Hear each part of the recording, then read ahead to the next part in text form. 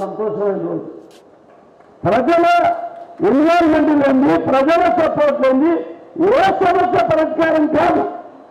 మనమందరం తలుచుకుంటేనే బాగుపడతాం మనమందరం పక్కింటి చేస్తే ఇంకో ఇంటి మీద పడేస్తే ఆడు చెడిపోతాడు మనం చెడిపోతాం కాబట్టి మన అందరం కూడా చాలా ఇంట్రెస్ట్గా చాలా కష్టపడి ఈ వాతావరణాన్ని కాపాడుకోవాలి.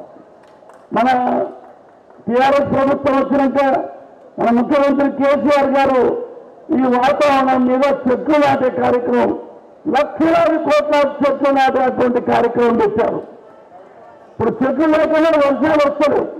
వర్షాలు లేక పంటలు పంటలు పంటలు పండకపోతే ధరలు పెరిగిపోతాయి. ధరలు పెరిగిపోతే ప్రజలు కొనుగోలు శక్తి పడిపోతుంది.